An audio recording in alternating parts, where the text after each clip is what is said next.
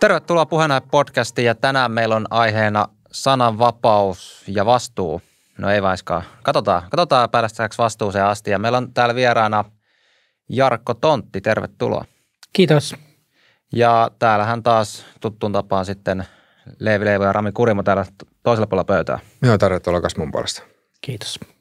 Joo, lähdetään vaan. Totta, sulla oli Rami kuulemma joku hyvä kysymys tähän alkuun mietitty. Niin. Joo, voisi tota, kysyä Jarkko silleen, että, että muistaaksä, että mikä on viimeisin kerta, jolloin sä itse kokisit, että sun sananvapautta olisi jollain tavalla rajoitettu? Tai onko semmoista hetkeä? No ei onneksi. Että tota, kyllä mä, mä, en ole, mä aika usein, mä mielestäni niin kuin pohdin aika tarkkaan, jos mä laitan vaikka someen jotain. Kaikki sinne pistää vähän huolimattomiakin, mutta aika harvoin nykyään enää keski-ikäisenä ihmisenä tulee harvemmin sellaisia tilanteita, että sanoo kiivastuksissaan jotain, joka sitten joku taho poistaisi somesta tai jota, joka aiheuttaisi vastareaktioita. Että.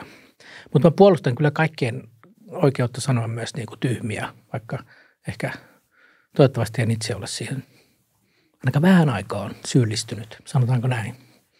Joo, sä tota, tosiaan itse alkujaan juristi ja sit nyt myös useiden vuosien aikana ollut kirjailija, niin äm, voisi oikeastaan kysyä niin, että miten sä näkisit, että mikä merkitys sananvapaudella on näiden kummankin ammatin kannalta? Että jos, jos tavallaan niin kuin miettii sananvapautta tämmöisessä niin kuin juristin toimessa ja sitten taas vastaavasti, mikä on sananvapauden merkitys kirjailijalle? No vähän niin kuin tätä tangeeraa semmoinen aika hyvä jaottelu, mitä mä oon nyt kun aiheesta luen aika paljon koko ajan. On, että puhutaan niin kuin juridinen sananvapaus ja sitten on niin kuin kulttuurinen sananvapaus. Se siis tarkoittaa, että totta kai jokaisessa maassa on, on tietty sananvapautta rajoittavia lainkohtia. On rikoslaista ja on kaikenlaista, monenlaista niin kuin useimmiten niin kuin demokraattisissa maissa sitten enemmän tai vähemmän perusteltuja lainkohtia, mistä voi olla eri mieltä, mutta on olemassa niin kuin lainsäädännön rajat sananvapaudelle. Mutta sitten sen lisäksi on kussakin maassa ja sitten laajemminkin ehkä kulttuuripiireissä on niin kuin sananvapauskulttuuri, semmoinen niin kuin yleinen ajan henki, tunnelma, onko se sananvapaus myönteinen, vastainen. Ja nämä voi niin kuin vaihdella, vaikka se juridiikka pysyisi samana ja se voi ehkä sitten epäsuorasti vaikuttaa siihen, miten lakeja tulkitaan ja sovelletaan – ja ehkä sitten kirjailija Jarkko voi olla vähän niin kuin valppaammin huomioimassa näitä sananvapauskulttuurissa ja semmoisessa niin kuin kulttuurin tila muutoksia. Kuin sitten on aika niin kuin spesifiä kysymyksiä lopulta ne juridiset kysymykset, että missä, millä, millä ehdoilla sovelletaan vaikkapa nyt sitten kunnianloukkausta ja, ja tämän tyyppisiä asioita. Joo, tota, voisi kysyä näin, että nyt kun siis tätä jaksoa nauhoitetaan – vuoden 2022 keväällä, ää, niin, tai itse asiassa kohta, kohta kesällä. Onko tämä tämmöinen oletus aina, että tätä kuunnellaan niin kuin viidenkin mukaan. vuoden päästä? Se on, se on tavoite. ähm, niin just sanoit sitä, että, että henkilökohtaisesti susta ei tunnu siltä, että, että sun sananvapautta olisi jollain tavalla tässä nyt niin kuin viime aikoina rajoitettu, niin tarviiko tästä sananvapauden kehityksestä olla huolissaan?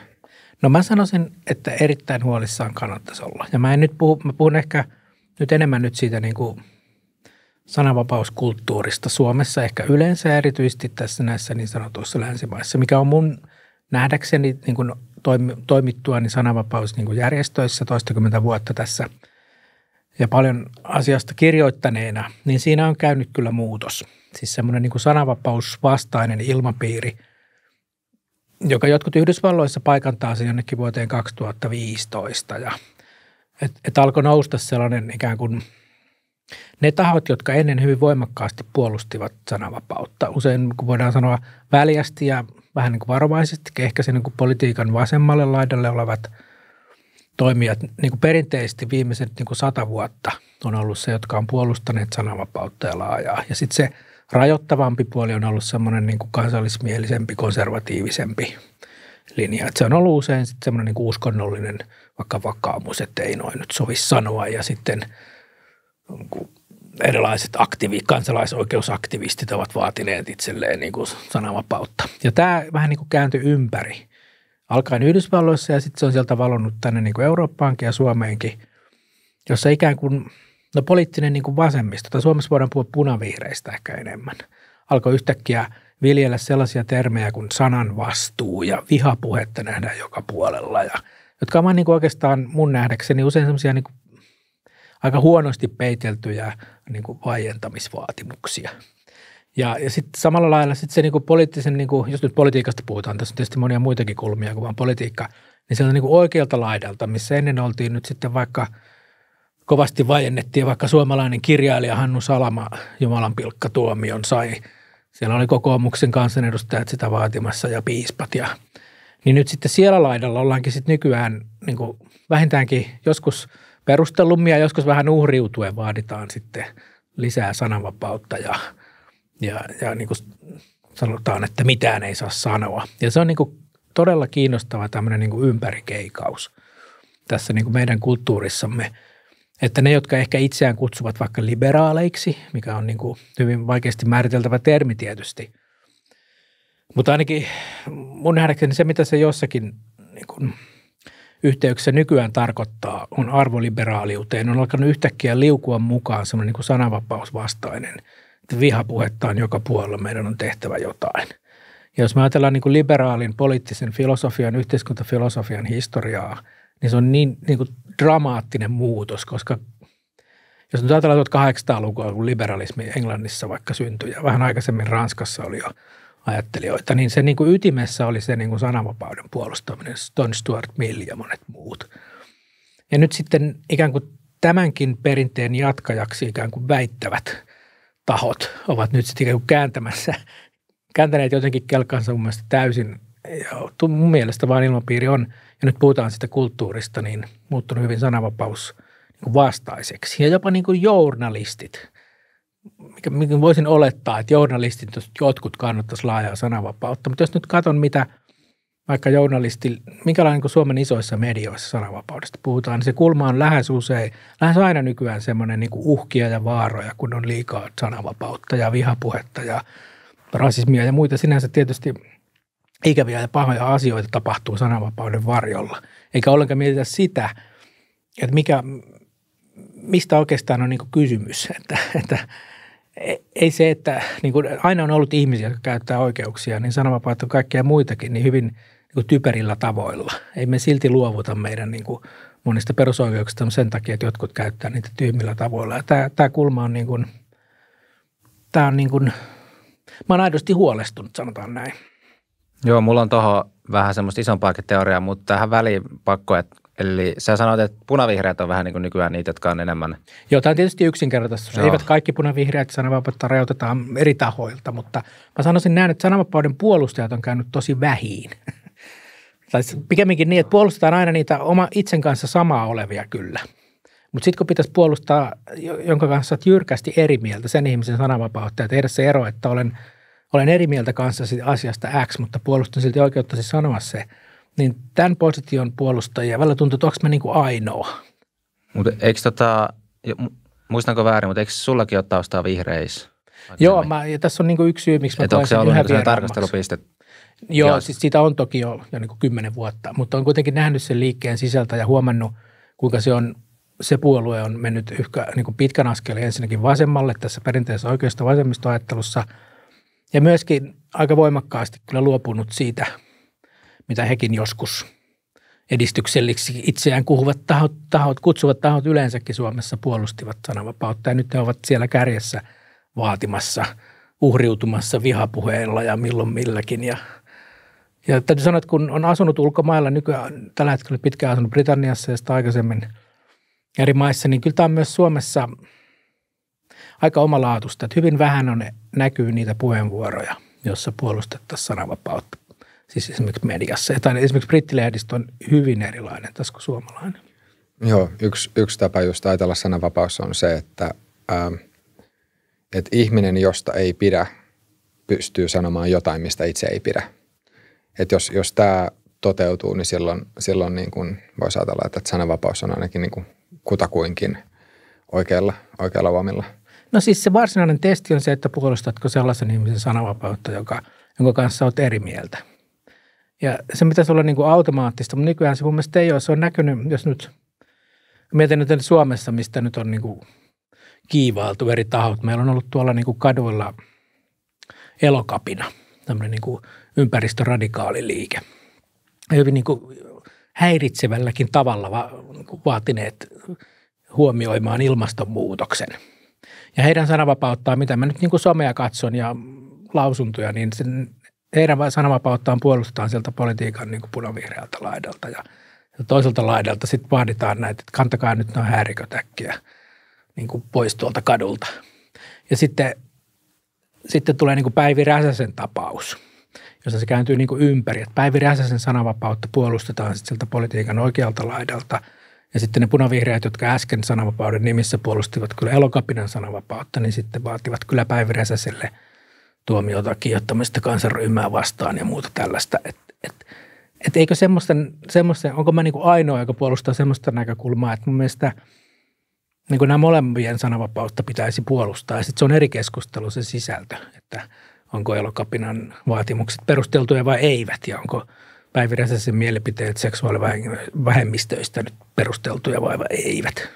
Tuli tuosta, kun nostit elokapina, niin siitä mieleen, eli kuuluuko siis sun näkökulmasta sananvapauden piiriin myös tämmöinen niin kuin toiminta, että jos me nyt porukalla mentäisiin valtaa rautatieasema, Helsingin rautatieasema sillä, että kukaan muu ei pääse sinne ja me tota, kuulutaan sieltä omaa niin sanomaan, niin onko se niin kuin sananvapauden toteuttamista? Siis verraten nyt tähän elokapina, että katkaistaan vaikka katu, niin toisin sanoen tämmöinen kuuluuko sananvapauteen muutakin kuin pelkkä se sana? Eli toisin sanoen voiko siihen liittyä toimintaa, joka pitää sitten myös turvata, koska se niin, to, edesauttaa sen viestin leviämistä? Totta kai siis siihen kuuluu niin kuin kokoontumisvapaus ja tämmöinen, mutta sitten lainsäädäntö tietysti asettaa rajoituksia. Mielenosoituksista ilma on niin kuin tietyt, tietyt puitteet, millä ne tehdään.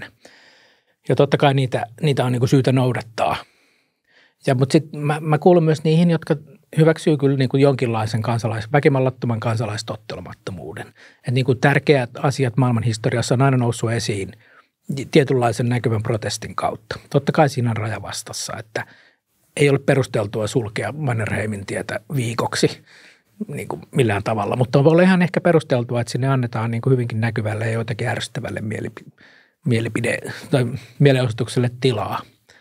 Mutta mutta se, että se niin kuin sur, niin kuin surettaa keskustelu näistä, kun ne on niin, ne on niin ennalta arvattavia, että ihmiset ei ikään kuin pysty erottamaan toisistaan sen asian puolustamista sen sananvapauden puolustamisesta. Ja se on kyllä tavattoman jotenkin, se kertoo, että sananvapauden niin kulttuurinen tila Suomessa, semmoinen niin asema on, on hyvin heikko. Ja eikä meillä oikein ole siihen perinteitäkään. Mm, aivan. Mitä sä muuten itse vielä sanoisit näistä termeistä vihapuhe ja, ja tota, sitten mulla oli joku toinenkin sana mielessä, minkä just unohdin, mutta mut jos nyt aloittaa tästä Sananvastuu. Niin, sananvastuu, joo, nimenomaan. Et, et jos nyt lähtee purkamaan näitä termejä, niin mikä olisi sulta tähän alkuun semmoinen hyvän tahtoinen tulkinta, että mitä näillä ter- termeillä silleen niin kuin sanotaan, että ne, jotka puhuu, ää, tai että ne, jotka korostaa vihapuheen vaaroja ja ne, jotka sitten korostaa – sananvastuun merkitystä, että mitä, mitä näillä niin kuin yritetään silleen ajaa ja sitten siihen jälkikäteen taas, että miten, miten sä niin kuin itse hahmotat sitä. No nykyään mä oon vielä entistä skeptisempi ja epäluuloisempi tämän termin vihapuhe suhteen. No, niin kuin tiedetään, sitä ei ole Suomen laissa eikä tietääkseni missään muuallakaan laissa. Ja niin kuin jos pistän juristihatun päähän, niin se pahin ongelma on siinä se, että se on niin – niin väliä, että se on täysin mahdoton määritellä. Se on, se on niin kuin yksi vakavampia uhkia, mä sanotaan demokratialle laajempikin, ja nyt ei puhuta enää vaan sananvapaudesta, on se, että jos meidän niin kuin lait on niin väljiä ja tulkinnanvarasia, että se valta siirtyy sille lain soveltajalle, siltä, niiltä lainkirjoittajilta eli, eli parlamenteilta. Ja jos, jos semmoinen termi kuin vihapuhe tai muu vastaava sananvapautta rajoittava välietulkintainen termi siirretään lainsäädäntöön, niin se johtaa yksinkertaisesti, en nyt sano mielivaltaan, mutta äärimmäiseen niin kuin epävarmuuteen. Juristit arvostaa oikeusvarmuutta, että ihmiset nyt tietää etukäteen, mikä on kiellettyä ja mikä sallittua. Mutta jos sinne, siellä on nyt jo kaikki sananvapautta rajoittavat lainkohdat on hyvin niin kuin tulkinnanvaraisia – ja se johtaa siihen kaikkein tehokkaimpaan sensuuriin, nimittäin itsesensuuriin. Kun ei tiedä, että saanko nyt käyttää n-sanaa vai en. Saanko, saanko millä sanoilla saan kuvailla niin kuin tuntemuksia ne vaikkapa islamin uskosta tai kristinuskosta ja millä en. Niin se on hyvin epätervettä, jos ihminen joutuu pelkäämään, että voi tulla oikeudellisia seurauksia sen takia vaan, että sitä ei voi tietää etukäteen. Ja se on tietysti niin kuin yksi syy, miksi, miksi poistan aina niin kuin, poistan varmistimen vesipistoolista, niin kuin kuulen sanan vihapuhe. Et meillä on kuitenkin lainsäädännössä selkeämpiä lainkohtia. On, on kunnianloukkausta ja yksityisyyden suojaa ja, ja sitten myös tämä kiihottaminen kansaryhmää vastaan ja niihin on oikeuskäytäntöjä, jotka täsmentää sitä vähän, mitä se on ja mitä se ei ole.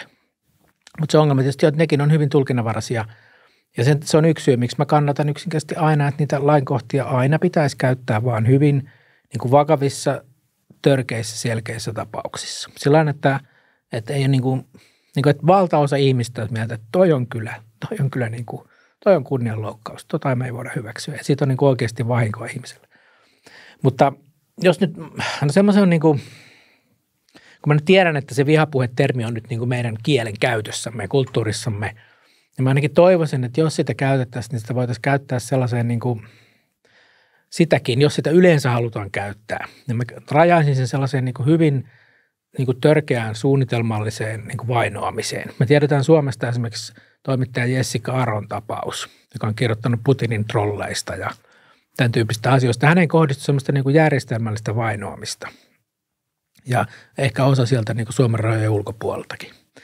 Ja, ja niin kuin suunnitelmallista organisoitua ihmisen niin kuin kiusaamista. Niin, niin se on ehkä sitten se, jossa mä, mäkin olisin valmis käyttämään termiä vihapuhe. Mutta jos se vaan niin kuin tarkoittaa se, että, että jotain sellaisia niin kuin – kielellisiä herkkyyksiä, mitä ehkä nykyään niin kuin nuoremmilla ihmisillä on esimerkiksi niin kuin sukupuolisen suuntautumisen tai seksuaalisen suuntautumisen suhteen.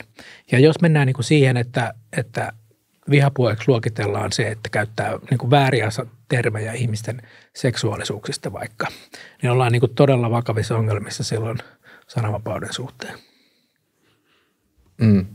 Mitä sä muuten itse vielä, tai miten sä itse vielä avaisit tätä Ähm, mä en tiedä, voiko sanoa ristiriitaa, koska se nyt ei välttämättä tarvitse olla ristiriita, mutta, mutta just tämä, että kun sanoit, että sä et itse koe, että sun sananvapautta olisi rajoitettu, mutta sä kuitenkin oot huolissaan siitä, niin, niin miten, miten niin kuin tätä voisi tarkastella vielä enemmän? No mä yritän ajatella ihan niin kuin demokratian tilaa, johon kuuluu se, että niin kuin kaikki ihmiset, ja me ollaan kaikki hyvin erilaisia ihmisiä, pitää päästä sanomaan niin kuin mielipiteensä – niin kuin maailman menosta ja yhteiskunnasta. Ja se, että näitä sananvapauden rajoja asetellaan, loppujen lopuksi aika pieni eliitti, korkeasti koulutettu eliitti tuolla niin kuin yliopistojen ilmatiiviissa seminaarihuoneessa opetellut Floretin pistoja vaihtelemaan. Ja sitten ne niin kuin järkyttyy ja loukkaantuu, kun tuleekin ihminen, joka ei ole ehkä käynyt yliopistoa. Ja sitten se somessa kirjoittaa, mitä se on nyt niin kuin mieltä tästä ja tästä asiasta. Niin se on ehkä myös sitten tällainen niin kuin, hyvin niin kuin perinteinen niin kuin yhteiskuntaluokkakysymys ja niin kuin kysymys niin kuin vauraudesta ja toimintamahdollisuuksista ja minkälainen niin kuin sanavarasto ja kieli, kieli, kielenkäyttö sun niin kuin viiteryhmässä tehdään. Ja mun mielestä yhä enemmän ollaan menossa siihen, että sellainen niin kuin hyvin, hyvin niin kuin kapeata sektoria yhteiskunnasta edustava joukko on nyt huolestuneena niin kuin rajoittamassa niin kuin erilaisten ihmisten mahdollisuuksia osallistua keskusteluun. Ja se, se on niin kuin pitkällä tähtäimellä ihmisten, niin kuin varsinkin outoa se varsinkin, jos jotkut näistä, kuten ainakin somen perusteella, mä, on, mä katson omaa someani, niin siellä on kärjessä usein ihmiset, jotka on jollakin lailla vasemmalle kallellaan, joka nyt perinteisesti on ollut semmoinen niin kuin, semmoisten ei-hyväosaisten kansalaisten kuin parant, tilanteen parantamiseen tähtäävä niin kuin poliittinen suuntaus. Ja nyt jos, jos ollaan niin kuin menossa siihen, että sitten sulla pitää olla sosiologian tutkintoja, vähän naistutkimusta ja kehitysmaa tutkimusta ja, ja sitten intersektuaalista feminismiä myös päällä, että sä osaat valita sanat, millä sä käyt yhteiskunnallista keskustelua, niin toivottavasti ihmiset tajuaa, että se on ihan valtavan niin kuin ulos sulkevaa suurimmalle osalle niin kuin Suomen kansalaisista – ja tässä on niin jotain samaa, ja tämä on ehkä vähän outo vertaus jonkun mielestä, mutta mä pidän sitä hyvin niin kuin kiinnostavana, kun luin sitä, miten, miten suomalainen niin kuin eliitti, munkin niin kuin kollegat sadan vuoden takaa, kirjailijat ja yleensäkin se niin kuin koulutettu pieni eliitti silloin niin kuin Suomen itseäistymisen aikoihin, kuinka järkyttyneitä ne olivat, kun, kun kansa nousi kapinaan. että tuli niin kuin sisällissota. Ja heillä oli sellainen niin kuin idealisoitu kuva, että, että suomalaiset on semmoisia niin kuin Jumalaan uskovia, semmoisia vähän niin kuin ruuneberilaisia, semmoisia niin kuin kunnon niin kuin nöyriä ja kilttejä ihmisiä ja sitten ne yhtäkkiä nouseekin niin kuin aseen vaatimaan itselleen niin kuin asioita. Ja siinä niin kuin järkytty suuri osa suomalaista sivistyseliittiä, myös kirjailijat aika suuri osa. Ja se kertoo lähinnä siitä, kuinka täydellisesti olivat niin kuin eristäytyneet siitä niin kuin suurimman osan ihmisistä elämästä. Ja nyt kun mä katson joidenkin, no kirjailijakollegoidenkin, jotka on nykyään yhä koulutetumpia ja yhä enemmän eliittiin kuuluvia kuin ehkä koskaan aikaisemmin, puhumattakaan sitten näistä – niin kuin asia, asiaa paljon kommentoivista vaikka tutkijoista, jotka on, on niin kuin, elävät siinä niin kuin yliopistokuplassa. Mä sanoin myös itseään entinen yliopistotutkija ja kun sieltä lähti, niin avautui kyllä silmät monen suhteen. Et siinä on kyllä niin kuin valtava kulttuurinen kuilu siinä, millä tavalla niin kuin eliitti haluaisi ihmisten keskustelevan ja he niin kuin kyvyttömyytensä ymmärtää sitä, että, että ihmisten niin kuin kielirekisteritkin voi olla jo – hyvin toisenlaiset. Ja mä pidän tätä todella vaarallisena suomalaisen demokratian suhteen. Mä, saanko mä sanoa tähän väliin? Niin siis tota, ää, miten toi liittyy sananvapauteen? Tai mi, mi, mikä se mekanismi tuossa on sun mielestä se, joka aiheuttaa sananvapaudelle uhkaa? No, mä oon puhunut tuosta aikaisemminkin, niin olikohan se nyt Jyväskylän yliopistossa tuli muutama vuosi sitten. Meidän nykyinen hallituksemme tilasi sieltä tilaustutkimuksen vihapuheesta. Ja tota, siinä nämä niin Jyväskylän yliopiston tutkijat sitten niin alkoi tutkia ja haastattelee kaikenlaisia ihmisiä, niin päätöksentekijöitä ja muita. Ja havaittiin ihan kauheasti vihapuetta joka puolella. Sitten siellä oli sellaisia niin hälytyssanoja, mitkä, niin kuin, mitkä he rekisteröivät. Siellä oli semmoinen niin kyttä ja paska. Et ihmiset en yhtään ihmettele, että niin kuin ihminen voi esimerkiksi lähettää poliitikolle palautetta, jossa se käyttää tällaisia sanoja. Ja jos tästä sitten noudatetaan niin semmoista – vähän semmoista niin kuin alarmistista tunnelmaa, että vihapuhetta on joka puolella, kun ihmiset käyttää muun muassa tällaisia sanoja, joilla on myös niin kuin todella, todella kaukana siitä niin kuin demokratian ideaalista, mikä aikanaan syntyi niin kuin Ateenassa. Siellä niin kuin, jokaisella siihen aikaan tietysti vain miehillä, mutta kuitenkin niin kuin, vaikka luku, luku- ja kirjoittamassa taidottomatkin saivat sanoa sanansa siellä niin kuin kansankokouksissa. Ja varmasti puhuivat vähän eri lailla ne, jotka oli ollut – Aristoteleen filosofikoulussa ja ne, jotka hakkasivat kiviä työkseen. Mä, mä näen ton eri lailla kuin sä, tai mä ainakin löydän tuohon niin kuin, niin kuin käytännössä melkein päivästä sen näkökulma. Eli se, mitä sanoit, että eliitti niin kuin vaatii tämmöistä tiettyä kielenkäyttöä ja muuta, niin voisiko olla kuitenkin niin, että itse asiassa eliitti nimenomaan ei halua, että suurin osa käyttää tätä kieltä, vaan se, että ne itse ilmaisee – just näillä, mitä sä luettelit, että pitää olla tietynlainen niin kuin, tarkka sellainen normisto, että miten puhutaan asioista. Se on itse asiassa tälle niin kutsutulle elitille tapa erottautuu keskiluokasta. Eli se, että tästä puhutaan ääneen, se on semmoinen niin kuin, he itse rakentaa semmoisen kuilun tämän eliitin ja keskiluokan välille. Ja yksi syy, miksi näin, on myös se, että sitten taas, koska materiaalinen todellisuus, taloudellinen vauraus on tasottunut niin paljon, että siellä puolella – ei enää pystytä nykypäivänä tehdä niin paljon sellaista eroa, niin tämmöisestä kielellisestä ilmaisusta on tullut yksi tapa erotella tämä niin sanottu kulttuurinen eliitti sitten keskiluokasta. Ja vaikka ne... Ja me käyttäisiin keskiluokkaa, koska kyllä Suomessa monikin mun käsityksessä keskiluokkaa on vaurasta ja koulutettua. Tietysti mä tarkoitan, että se niin kuin alempaa keskiluokkaa. Niin, niin mutta siis nimenomaan tämä akateeminen eliitti haluaa mm. erotella itsensä niin kuin tästä isosta keskiluokasta. Hyvin koska muutenhan he ei olisi eli, niin sanottu eliitti, koska mm. se ei ole enää eliitti, jos se on tosi niin kuin laaja. No se on ihan totta, mutta se on ehkä vähemmän mun mielestä nopeasti ajatellen. Voit olla tietysti kiinnostava pointsi, mutta mun näkökulma ei ole nyt, että miksi, mikä on syy ja mikä seuraus, vaan se, että tilanne on mun mielestä todella huono. että, että jos on syntynyt sellainen tilanne, että, että jos sieltä niin kun sen eliitin kuplan ulkopuolelta tulee kommenttia ja se tuntuu jotenkin niin kuin suoralta ja tökeröltä ja loukkaavaltakin – poliitikosta tai tutkijasta tai toimittajasta, joka saa paljon palautetta jyrkkääkin. Ja jos se reaktio siihen, että tämä on nyt niin kuin vihapuhetta ja tämä on väärin ja vaaditaan lainsäädännön kiristämistä, että, että tämä saataisiin kuriin, niin ollaan todella tekemässä niin kuin vakavaa virhettä. Et mun mielestä niin kuin vihaiseen puheeseen pitäisi niin kuin vastata rauhallisella puheella. ei, ei sillä, että kirjoitetaan tutkintapyyntö viranomaisille. Ja, ja yleensäkin kaikkeen niin kuin, me tarvitaan niin kuin lisää puhetta, ei, ei sen niin kuin rajoittamista.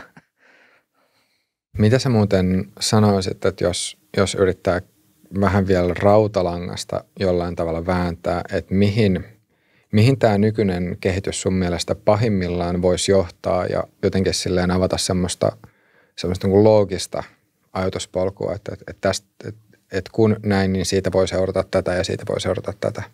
Että mikä, mikä tämä niin kuin, mikä tämä kehityskulku sun näkökulmasta nimenomaan pahimmillaan voisi olla? No se, se vähentää polarisaatiota.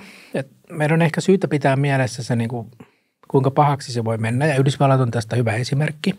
Ja siellähän se on käynyt juuri näin, niin kuin, mitä mä ehkä tässä kuvailen, että meillä on yhä niin kuin selkeämmin sellainen niin kuin koulutettu, vauras Yhdysvaltojen rannikkokaupunkien, suurkaupunkien koulutettu hyvin, hyvin toimeen tuleva osa, joka on usein demokraattien äänestäjiä, kutsuvat itseään liberaaleiksi, ovat nykyään hyvin huolestuneita vihapuheesta, vähän niin kuin Suomessakin eliitit. Ja sitten on sellainen niin kuin vihainen kansa, joka äänestää sitten Trumpia. Ja tämä, tämän tyyppiseen niin kuin kärjistämiseen, että et, et, et sitten me alkaa yhä pahemmalta näyttää sellainen tilanne, että oikeastaan me ei enää niin kuin edes yritetä kuunnella, kun me luokitellaan, että noi on tuolla toisessa leirissä, noi on pahiksia ja me ollaan hyviksiä ja äh, sanomisia ei kuunnella, vaan katsotaan, kuka sen sanoo. Ja yhteiskunta jakaantuu sitten tä- tällä lailla pahimmillaan aika niin kuin kahtia. Ja se on niin kuin todella tuhoisaa. Mutta mitä, mitä sä näkisit, että onko sun mielestä niin kuin Yhdysvalloissa sananvapauden tilanne heikompi kuin Suomessa vai, vai tota, äh, samanlainen vai, vai kuinka?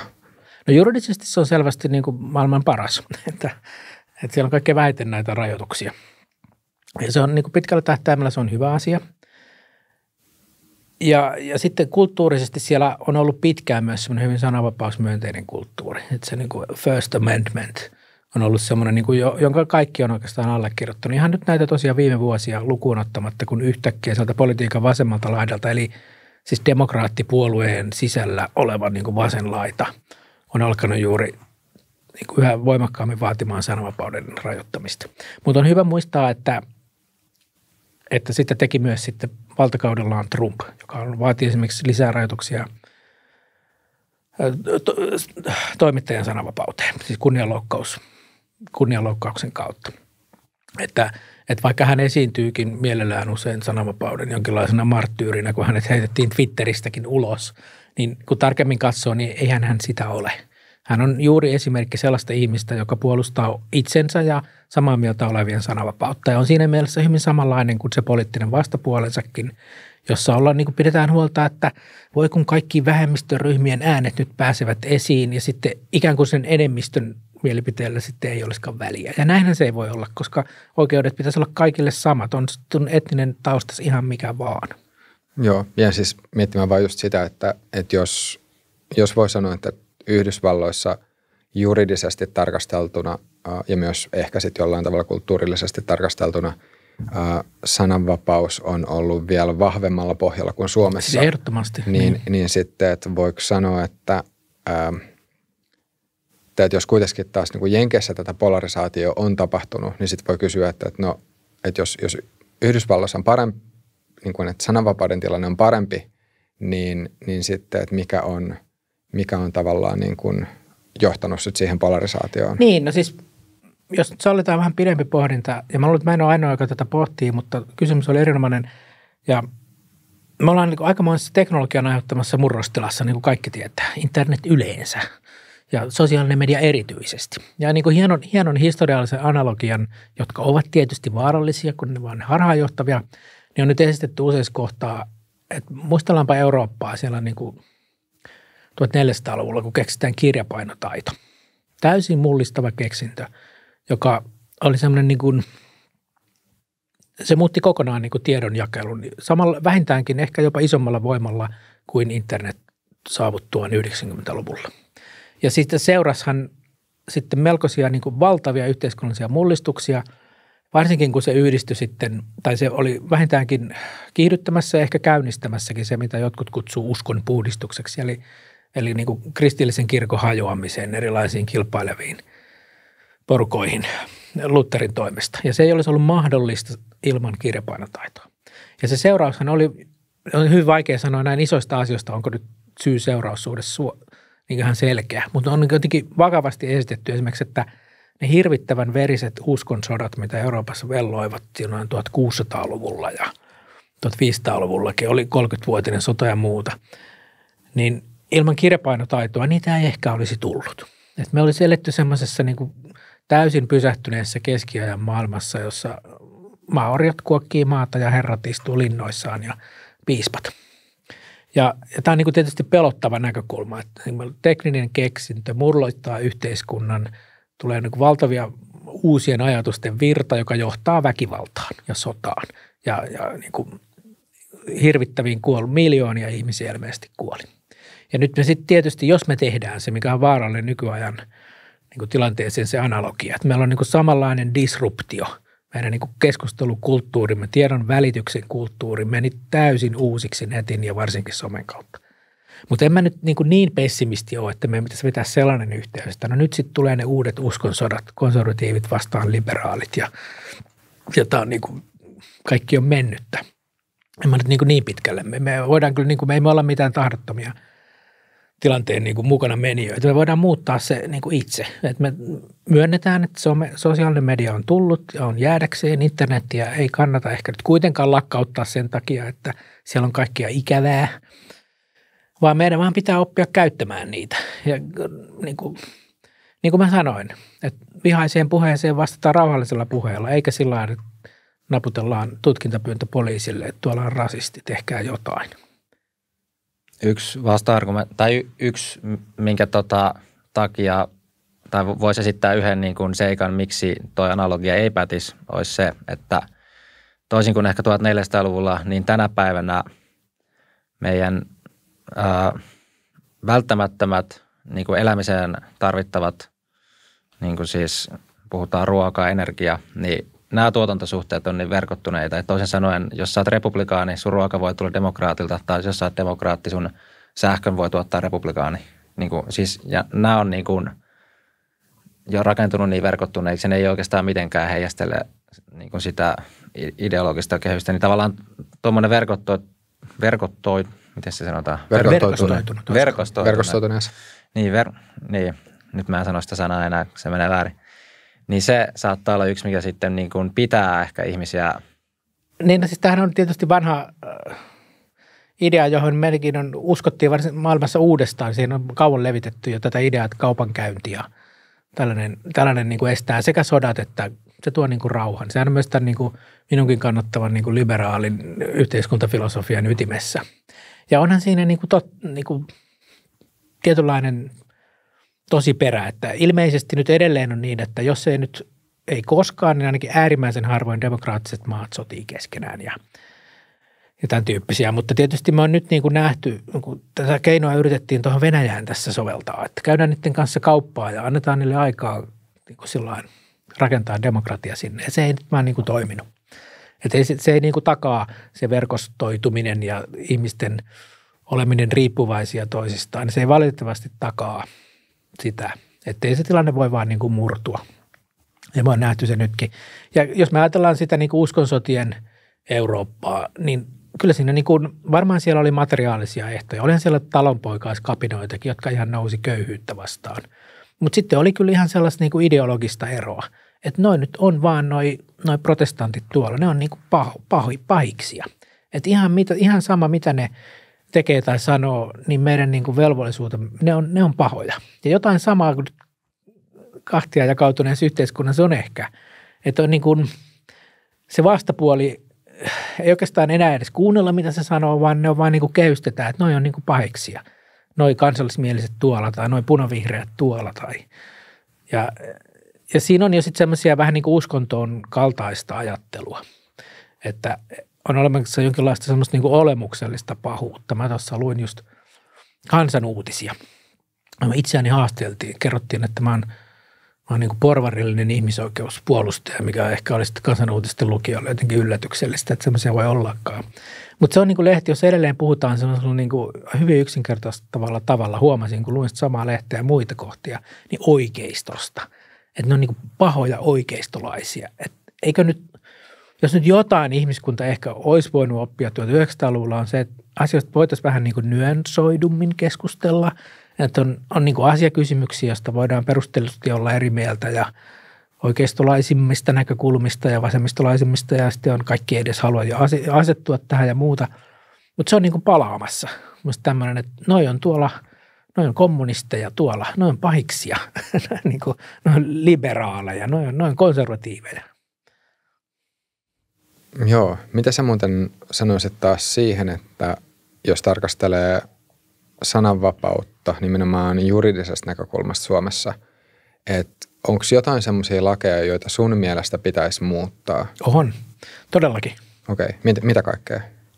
No yksi, mä olin vähän hetken toiveikas, kun muistatte ehkä varmaan kaikki tämänkin podcastin kuuntelijat ja katselijat, mutta nyt kovin kauan sitten, niin Johanna Vehko, toimittaja. Pitkä oikeusprosessi, kunnianloukkaus – hän oli kutsunut natsipelleksi tällaista niin kuin, ehkä voi sanoa laita oikeistolaista poliitikkoa ja aktivistia. Ja tota, siitähän tuli sitten hyvin niin kuin pitkäkestoinen oikeusjuttu. Kaikki, korkean oikeus sitten lopulta vapautti, mikä oli, mikä oli hyvä asia. Mutta mun mielestä meillä pitäisi olla kunnianloukkauslainsäädäntö sellainen, että tuollaista juttua ei voisi edes nostaa. Ja näin siis tilanne esimerkiksi on, voin sanoa Britanniassa, jossa nimenomaan toimittajat – kampanjoi vuosikausia niin, että kunnianloukkauslainsäädäntöä muutettiin sellaiseksi, että, että voi nostaa kanteen kunnianloukkauksesta, ne pitää olla vähän niin kuin vakavaa vahinkoa aiheutunut ihmiselle, serious harm. Ja Suomessa näin ei ole. Suomessa riittää vähän semmoinen niin kuin loukkaantuminen, että minua on loukattu, kunniaani on loukattu. Ja tämä olisi yksi, yksi, mikä olisi Suomessa syytä tehdä, että nostettaisiin yksinkertaisesti sitä kynnystä, millä kunnianloukkauksesta voi – niin kuin nostaa syytteen. Siinä voisi olla ihan miettiä sellaisia muotoiluja kuin, niin kuin vakavaa vahinkoa, jotain niin kuin muuta kuin mielensä pahoittamista. Miten jos sä muuten vielä tarkastelet tätä vehkoon oikeuskäsittelyä, niin mitä, mitä ajatuksia sulla herää siitä? No kyllä se valitettavasti taas meni siihen, että suurin osa siitä kommentoijista asemoitu taas sen niin kuin, vähän niin kuin politiikan mukaan. Että kun Johanna nyt on, tunnen hänet hyvin – niin vasemmistolainen toimittaja, niin sitten sinne kallallaan olevat ihmiset puolustaa ja annaa. Ja sitten siellä toisella laidalla ollaan sitten niin kuin vähemmän innokkaasti puolustetaan hänen sananvapauttaan. Ja se on niin kuin tavattoman surullista. Ja mä niin kuin toivoin, kun mä, se juttu tuli, että Suomen toimittajat, jotka niin kuin me tiedämme, sitä on tutkittukin, siellä on huomattavan suuri osa vihreiden ja vasemmistoliiton kannattajia – niin mä niin toivon, että ne havahtuisi nyt sananvapauden puolustajiksi, suomalaiset toimittajatkin. Että mitä jos ne vaikka ryhtyisi tekemään niin kuin ne brittitoimittajat, että ettei vehkoon tapausta ikinä enää tulisi uudestaan, niin muutetaan kunnianloukkauslainsäädäntöä. Ei mitään sellaista ole tapahtunut. Huomattavan iso osa Suomen toimittajista on nyt lähtenyt mukaan tähän vihapuheen ja öyhöttämisen tai milloin milläkin varjolla tapahtumaan tämmöiseen niin kuin sananvapauden nakertamiseen, mä sanoisin.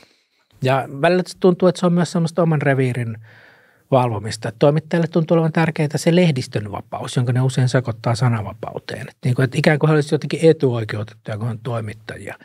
Ja sitten, sitten jos tulee ikävää palautetta netissä, niin se on sitten vihapuhetta. Ja tämän se kyllä ikävä vaan, että netti on murtanut sen portinvartijoiden erityisaseman. Ja se voi olla tuskallista toimittajille, jotka ovat – ehkä tottuneet, että he ovat jotenkin vähän niin kuin etuoikeutetumpia kuin toiset kansalaiset sananvapauden suhteen, niin se ei vain enää pidä paikkaansa. Ja se on ollut sitten se kirjapainon kaltainen mullistus, että mekin ollaan täällä niin kuin podcastissa, joka ei ole niin kuin sen niin kuin varsinaisen journalistisen koneiston tuote, vaan on juuri sitä, mitä mä tähän maailmaan kaipaan yhä enemmän. Sellaista niin kuin kansalaisten aitoa, vilpitöntä puhetta ilman – sen tyyppisiä niin kuin kirjoittamattomia suodattimia, mitä esimerkiksi mun kokemuksen mukaan monella toimittajalla on, koska heidän taustansa on hyvin, hyvin niin kuin yhdenmukainen. Tampereen yliopiston toimittajakoulutus ja aikanaan 70-luvulla äärivasemmisto otti opetuksen haltuun, sen, sen jäljet näkyy yhä. Siellä, kun kysyttiin opiskelijoita, niin puolet äänestää vihreitä ja kolmasosa vasemmistoliittoa. Turussa ammattikorkeakoulussa tehtiin joku vastaava tutkimus ja vähän sinne päin kanssa. Ja kyllähän se nyt näkyy suomalaisessa mediassa koko ajan. Ja he pelkäävät myös asemansa puolesta. Ja se on tavattoman niin kuin surullista. Kyllä niin kuin vastuullisen kansalaisen pitäisi ymmärtää, että ei toimittajat ole sitä etuoikeutetumpia sananvapauden suhteen kuin kukaan meistä, tai ei pitäisi olla. Joo, tuosta olisi jännä nähdä, jos joku tekisi tutkimusta, että kuinka tosiaan yleisesti on, koska on, että esimerkiksi se Vehkon tapaus, että oikeistolaista ajatteli, ajatteli sitä niin kuin omasta vinkkelistä, koska mulla tulee mieleen heti pari oikeistolaista, mä tiedän niin kuin myös, jotka oli sitä mieltä, että tavallaan siinäkin puolusti sananvapautta. Mutta sitten niitä on vaikea tietysti, kun kaikilla on omia niitä tuttuja, jotka saattaa olla sitten taas niin kuin pieni otos oikeasti.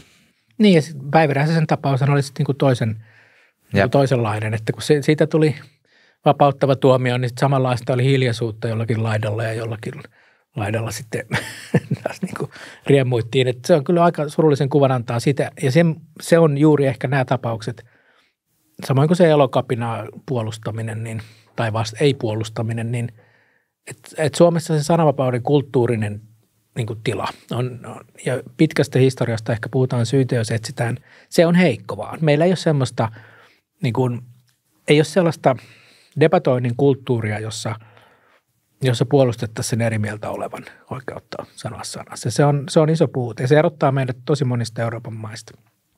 Joo, tuosta tulee mieleen, että, että ollaanko me suomalaiset jollain tavalla sit konsensushakuisia. Että jos miettii nyt tuoretta esimerkkiä NATOa, niin vasta puoli vuotta sitten mä veikkaisin, että jos oltaisiin kysytty kansanedustajien mielipiteitä, niin, niin aivan ylivoimainen enemmistö olisi sanonut, että Suomen ei tule liittyä NATOon. No nyt kun sitten oli tämä tuore äänestys, niin oliko se nyt niin, että 188 kansanedustajaa äänesti NATOon liittymisen puolesta. Eli että jos, jos sitten tulee tämmöinen ähm, kulttuurillinen virtaus tai, tai tämmöinen ajatus, niin sitten jos se, on, jos se leviää, niin sitten se saattaa levitä kyllä suhteellisen nopeasti ja sitten lainausmerkeissä vähän kaikki on sitä mieltä.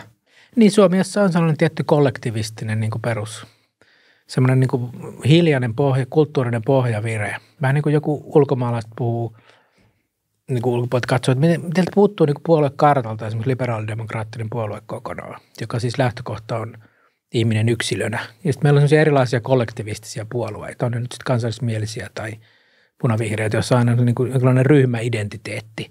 Ja sitten siinä on se niin kuin megasuomalaisuuden identiteetti päällä, jossa pelätään sitä, että joku keikuttaa venettä tai on eri mieltä ja sitten niin paheksutaan, paheksutaan sitä. Ja lähihistoria tietysti tuo niin kylmän sodan aika, jolloin täällä ehkä ihan syystäkin pelättiin Neuvostoliittoa, niin sen jäljet on tosi pitkät. Ja semmoinen niin vaikenemisen perinne, että jos olen eri mieltä ja ymmärrän olevani vähemmistössä, niin silloin, silloin on parempi olla hiljaa. Ja se on niin kuin, se luonnehtii kyllä aika paljon suomalaista kyllä niin kuin keskustelua. No kyllähän se nyt on muuttamassa, että niin kuin some on muuttanut asiaa mun nähdäkseni lopultakin hyvällä tavalla, vaikka, vaikka aina tuommoiset isot kulttuuriset muutokset on kivuliaita. Ja ei niihin nyt noin vaan sopeuduta. Kyllä sen kirjapainotaidonkin kanssa elämiseen kesti eurooppalaisilta sovel, niin kuin sopeutua muutaman sata vuotta. Toivottavasti nyt vähän nopeammin ja ilman kuolonuhreja tähän. Mitä sä sanoisit, että mitä kaikkia muita lakeja sit Suomessa sun nähdäksesi pitäisi uudistaa? Mainitsit just tämän, tämän kunnianloukkaus. No on meillä se vanha Jumalan pilkkapykäläkin siellä vielä, joka pitäisi ihan vain niin poistaa. Et se on niin kuin Tanskasta poistettiin 2017, Islannista 2015 ja kuvaa sitten tätä nykyistä ilmapiiriä, että, että siitäkään niin kuin ei edes keskustella – siitä on nyt muutama, aika pitkä aika, kun se melkein poistettiin eduskunnassa. Sitten siellä suuressa salissa se jotkut kansanedustajat hallituksen esitystä muutettiin ja se palautettiin. Ja me ollaan niin kuin oudossa viiteryhmässä, että ainoa Pohjoismaa, jossa semmoinen on. Ja kuvastaa myös sitä sananvapausvastaista ilmapiiriä, että, en usko, että kukaan poliitikko juuri nyt haluaisi semmoista lähteä ajamaan.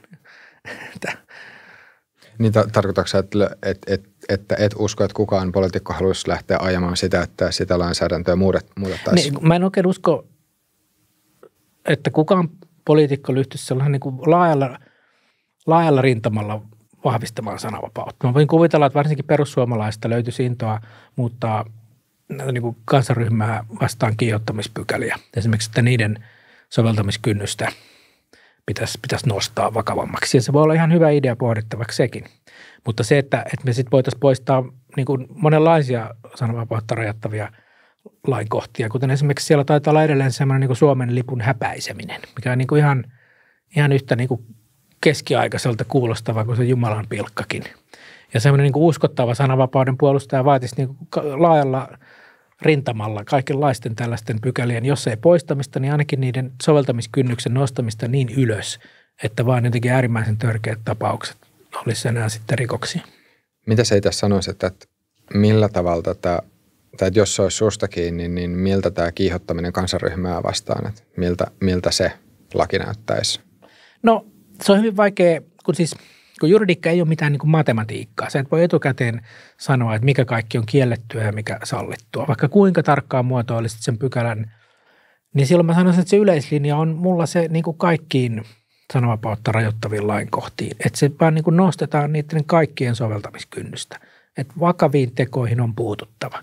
Jos ihminen kiusaa järjestelmällisesti ja häiriköi niin kuin Jessi Kaaroa tai, tai yllyttää väkivaltaan tai ihan niin kuin niin kuin ihan räikeää, törkeää niin kuin rasistista lietsontaa, niin kyllä siihen pitää voida puuttua. Mutta se tarkoittaa sitten, se ei tarkoita sitä, että yksittäisiin niin kuin sanojen ja epäkohteliaisuuksien voidaan puuttua.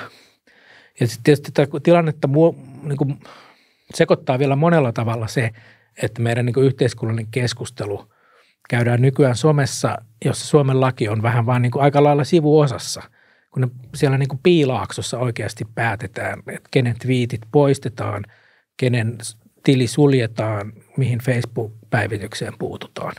Ja tämä on sitten vielä niin kuin ihan uusi kerros tässä se, että, että jos siellä antiikin Ateenassa, missä meidän demokratia syntyi, oli se agora, se tori, missä ihmiset keskusteli ja huusi toisilleen, niin se agora ja se tori on nyt tuolla somessa. Mutta sen sääntöjä ei enää sitten päätetä siellä Ateenan kansankokouksessa, vaan se päätetään sitten niin kuin muutaman firman johtoryhmän kokouksessa ilmeisesti, mikä on niin kuin demokratian kannalta myöskin erittäin niin kyseenalaista. Niin, että tavallaan ne keskusteluun osallistujat ei ole päättämässä niitä pelisääntöjä. Täsmälleen näin. Ja siinä on, se on niin kuin aikakautemme iso kysymys. Joo, tuo on kyllä hyvä pointti. Tota, mitä sä oot mieltä sit siitä, että mikä on sananvapauden suhde demokratiaan? No se on se peruskivi, jota ilman demokratiaa on vaan niin kuin pelkkää – sitä ei niin kuin ole olemassa. Silloin se on niin kuin näennäinen rakennelma. Ihan niin kuin Venäjälläkin on, niin kuin Vladimir itsekin sanoi, ohjailtu demokratia oli pitkään. Ja onhan siellä vaaleja ja puolueita. Mutta jos ihminen ei saa, ei ole realistista mahdollisuutta kertoa, minkälaista yhteiskuntaa haluaa, niin ei se ole sitten mikään demokratia. Et ne on niin kuin hyvin tuskallisten kamppailujen kautta yhtä niin käsikädessä syntyneitä asioita. Ei se ollut mikään sattuma – länsimainen demokratia syntyi antiikin Ateenassa, nimenomaan Ateenassa, joka oli siitä äärimmäisen poikkeuksellinen oman aikansa paikka. Että siellä oli myös laaja sananvapaus sekä kansankokouksessa että tor- torilla ihan kaikilla. Ja se oli myös suurin piirtein ainoa paikka, missä oli silloin 500 vuotta ennen ajanlaskun alkua jonkinlainen demokratia. Ja ne on aina kulkenut yhdessä ja ne edellyttää toisiaan ihan vääjäämättä. Ja sekin minua huolestuttaa erityisesti tässä nykyajassa. Että ikään kuin väitetään, että niin sanotun vihapuheen suitsiminen on niin kuin demokratian puolustamista, kun se ei vaan niin kuin näin ole. Siis se on, se on, se on niin kuin virheellinen päätelmä yksinkertaisesti. Mutta pystyykö se nähdä tilannetta, että jonkun sananvapaus rajoittaisi toisen sananvapautta? Totta kai. Se on niin kuin, hyvä esimerkki on sitä, mitä Yhdysvaltain kampuksella tapahtuu, kun – jos ei ole saatu kansellointia ja peruutettua jotakin esiintyjää, joka tulee sanomaan ikäviä asioita sinne yliopiston johonkin seminaarihuoneeseen, kun vierailija, niin sitten sinne mennään ja aletaan huutaa se hiljaiseksi. Kun se yrittää puhua, niin sitten opiskelija aktiivisesti, että näitä löytyy netistä, voitte katsoa. Huutaa vain niin kovaa, että sen sanat ei niin kuulu. Niin kyllä se nyt – kyllä se on, ei voi puolustaa sen tyyppistä huutamista, että mulla on sananvapaus huuttaa toinen hiljaiseksi. Se on valheellista.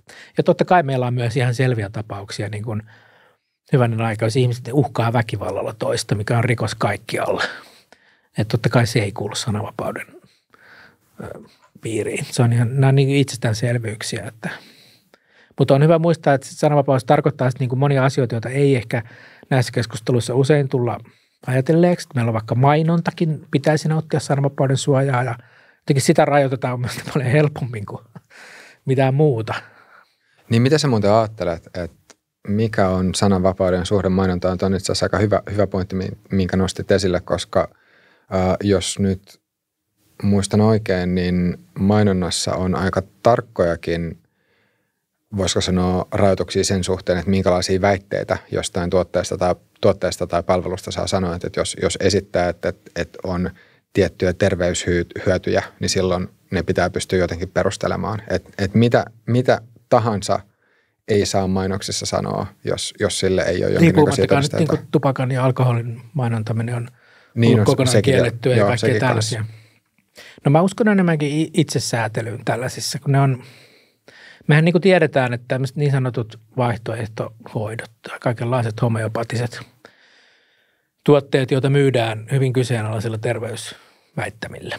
Niin voidaan tietysti pohtia, että tuntuu järkevältä, että pitäisi olla niin kuin jonkinlaisia rajoituksia tähän.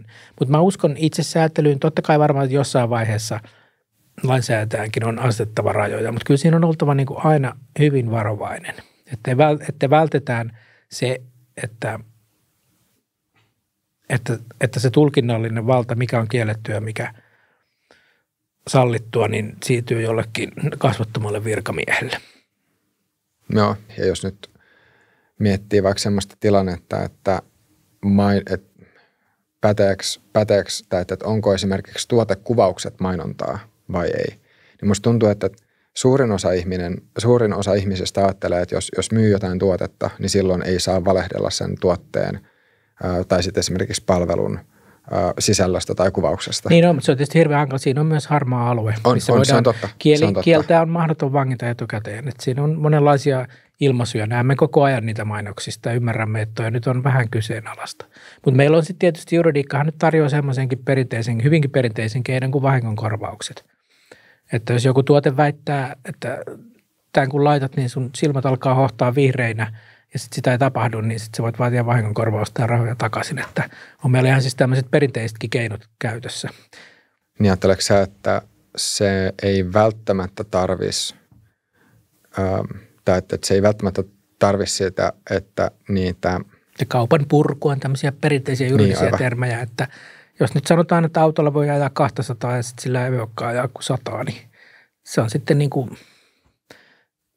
sit siihen voidaan puuttua ihan semmoisilla ei sananvapauteen liittyvillä keinoilla. Että no sitten sä oot luvannut jotain semmoista, jota mä luulin ostavani ja se ei pidä paikkaansa ja haluan rahani takaisin. Mutta sä, sä näkisit, että sitä välttämättä ei tarvitsisi rajoittaa etukäteen, vaan että nimenomaan nämä muut, niin. muut työkalut sitten voisi riittää siinä. Näin, no mä en ole siis tämän alan asiantuntija. Mä tiedän, että siinä on – erilaisia mekanismeja maailmalla. Et meillä on Suomessa kaikenlaisia eettisiä mainonnan kaiken maailman toimikuntia mun tietääkseni ja tämmöisiä itsesäätelykeinoja, mitkä on mun mielestä niin kuin parhaita. Ja sitten tietysti kyllähän lainsäädännössä sitten jollakin lailla rajoitetaan sitä, mutta niin kuin, niin kuin mä sanoin, niin semmoinen yleinen perusfilosofinen suuntautumisen tähän on se, että mahdollisimman vähän rajoitteita ja mahdollisimman, mahdollisimman selkeitä ja sellaisia että sitten epäkohtiin voidaan jollakin tavalla puuttua. Mutta ei ikään kuin, ei pienten haittojen ja kustannusten takia niin heitetä jotain hyvää asiaa kokonaan pois. Ja niin kuin sananvapaudessa yleensäkin, että totta kai siitä on, totta kai maailma olisi parempi, jos ei siellä olisi maailmassa rasistisia vitsejä. Mutta, mutta se ei niin kuin tarkoita, että me yhteiskunnan peruspilari sananvapaudesta luovutaan sen takia, että jotkut kertoo tyhmiä vitsejä. Että on niin kuin jollakin asioilla on niin kuin – on niin kuin hintansa, minkä mä toivon, että ihmiset on valmiita maksamaan. Puhutaan se nyt sitten mainonnasta tai, tai mistä vaan sananvapauteen liittyvästä. Ja ymmärtää, että, että ne, sit ne menetykset on sitten valtavia, jos me puututaan pieniin, pieniin asioihin isolla, isolla nuijalla.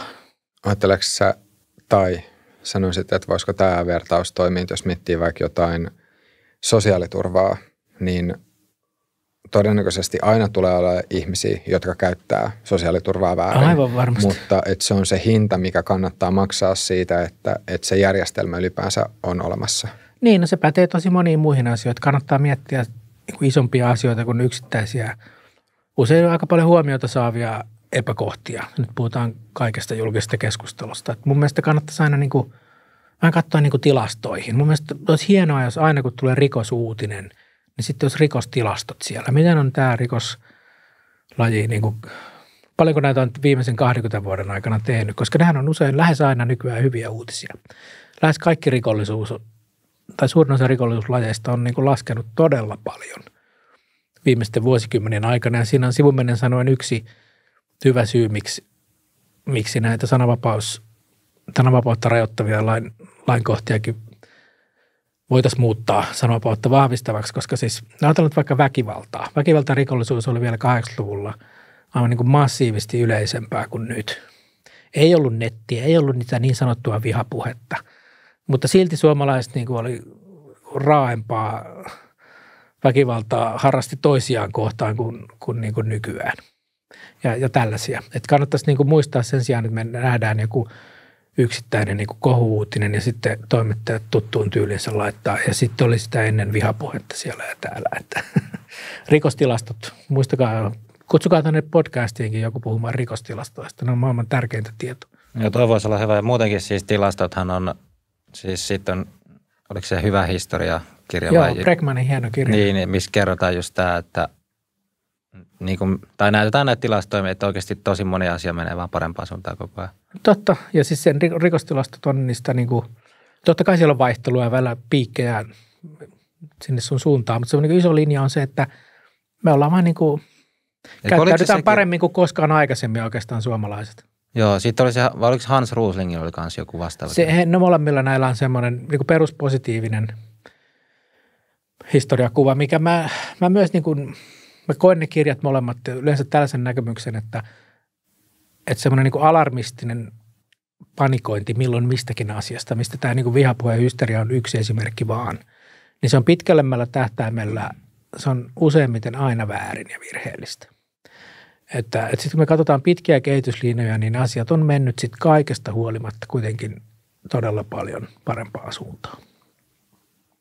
Mutta joo, jos tähän vielä varmaan aletaan olla loppupuolella jaksoa, niin – siis mulla on vielä yksi, yksi ajatus, minkä haluan sanoa just liittyen siihen, että tai tämmöinen ehkä arvaus, että miksi, miksi niin on tämmöistä tiettyä sananvapauden niin absoluuttista puolustamista vähemmän, niin ehkä se niin kuin tapa, just miten sananvapaus nähdään enenevissä määrin, niin on tavallaan, että se on niin kuin demokratian mahdollistaja. Ja sitten jos se, niin kuin ehkä se megafoniefekti tavallaan, että jos se rajoittaa sit joidenkin ihmisten osallistumista, puhutaan niin kuin just, että osallisuus demokratiaan, että onko kaikilla ihmisillä yhtä, yhtäläinen mahdollisuus osallistua, niin musta tuntuu, että tämä ajatus on ehkä saanut enemmän nykyään just kannatusta, että silloin niin kuin voidaan rajoittaa ikään kuin niiden ääne, äänekkäämpien sananvapautta, jos, jos sillä pystytään jotenkin nostaa sitten Niin, muiden. mutta toi on virheellinen tapa ajatella, että meidän pitäisi tukea niitä, jotka tukea tarvitsee ja sillä siisti, että – ei niin, että me vajennettaisiin joku sen takia, että sitten joku toinen ikään kuin nousisi sen tilalle, vaan yksinkertaisesti tuetaan vain niitä käyttämään sananvapauttaan, jotka syystä tai toisesta eivät ole sitä pystyneet käyttämään.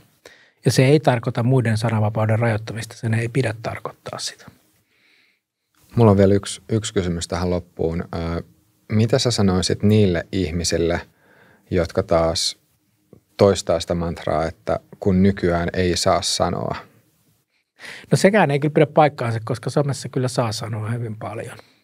Mutta, mutta se, siinä on niin kuin tietysti, siinä on pieni sellainen hyvin perusteltu niin kuin pohjavire. Et meillä on syntynyt, niin kuin sanoin, Yhdysvalloista alkoi sieltä 2010-luvulta.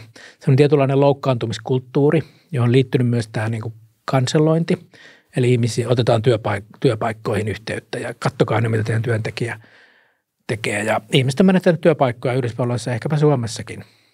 Ja, ja tämä on epäterve ilmiö, tämän tyyppinen niin kiusaaminen, että siihen, jos joku sanoo tyhmästi, niin siihen vastataan rauhallisesti tai ignoroidaan, ei anneta mitään. Että siinä on, on niin kuin, se kuvastaa kyllä mun kokemuksen mukaan ison ja kasvavan osan, ei vain suomalaista, vaan kaikista eurooppalaisista ihmisistä leviävä tuntemus nimenomaan siitä, mistä me aloitettiin tämä puhe. Että on olemassa joku korkealle koulutettu hyvinvoiva eliitti, joka joka pyrkii suitsimaan muiden ihmisten mahdollisuuksia ilmasta mieltään. Ja, ja, ja vaikka se usein on uhriutumista se, mitään ei saa sanoa, niin kyllä siinä, mä näen, että siinä on kyllä myös, myös tietty totuuden siemen, että niin kuin sanoin, kyllä se sananvapaus on ihan kaikilla, ei vaan niillä Hesarin toimittajilla ja Helsingin yliopiston tutkijoilla. Mutta allekirjoittaisitko sä semmoisen ajatuksen, että jos on jotain mieltä, niin se kuitenkin kannattaa sanoa? No kyllä mä nyt niin kuin, kyllä mä kannat, siis se itsesensuurin ja vaikenemisen perinne on Suomessa ollut niin vahva. On se suomettumisen aika ja mennään pitemmälle historiaan, että, että Suomessa on kyllä ihan liian vähän erilaisia mielipiteitä näkyy julkisuudessa. Ja niin kuin sanoin, on osunut useissa, maailma, useissa maassa Euroopassa varsinkin, ja kyllä lähes kaikissa mä voin sanoa, että julkinen keskustelu on monipuolisempaa. Et meillä on täällä liian yksi yksimielinen media, joka liittyy usein toimittajan poliittisiin niin kuin, taustoihin tai mihin, mitä puolueita he äänestävät. Meillä on hyvin, niin kuin, hyvin vähän sellaista niin kuin selkeästi eri suuntiin vetävää journalistista kirjoittelua. Ja, mutta kun nyt kansalaiset voisivat paikata tämän ongelman keskustelemalla ja kirjoittamalla aktiivisesti, ei tarvita enää niitä portinvartijamedioita. Netti tarjoaa mahtavat mahdollisuudet – siihen ja siihen mä kannustan kyllä kaikkia. Lisää keskustelua, lisää puhetta. Se on paras keino vihapuhetta vastaan, nyt lisää puhetta. Kiitos Jarkko. Joo, kiitos Jarkko. Eli yhteenvedoksi lisää puhetta. Lisää puhetta. Kiitos kaikille katsojille ja kuulijoille. Jos tykkäsit jaksosta, pistä peukkua, ota kanavatilaukseen ja tuu ihmeessä pistää tuben puolelle kommentteja. Ja me nähdään ja kuullaan ensi jaksossa.